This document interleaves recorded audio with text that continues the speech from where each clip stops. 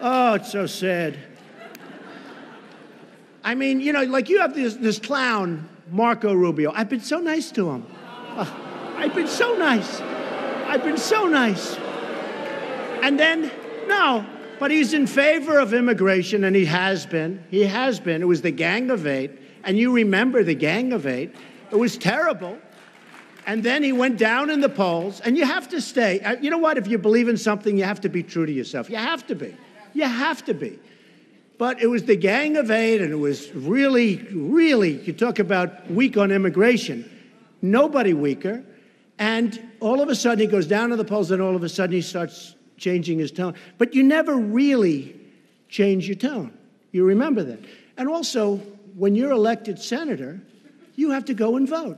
It's so important. You can't say, I can't vote. And he's got the worst record. And he hit me, and I said, Why is he doing that?